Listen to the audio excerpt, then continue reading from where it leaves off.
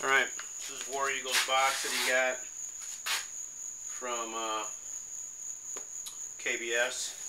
Contains stickers, which I'm just going to haphazardly put anywhere. And all of the shafts, of course. And these are beautiful shafts.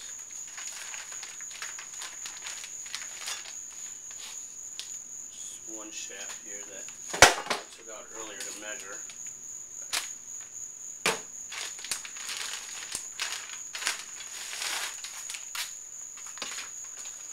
So we've got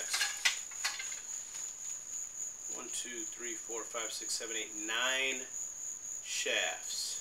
Stiff Flex KBX KBS tours. Beautiful. Absolutely gorgeous shafts. I have these in my um, R11 irons, and I absolutely love them. I think they're some of the best shafts out there, in my opinion. Um, this is nice. He's got three wedge shafts here, and the rest are for the clubs. So.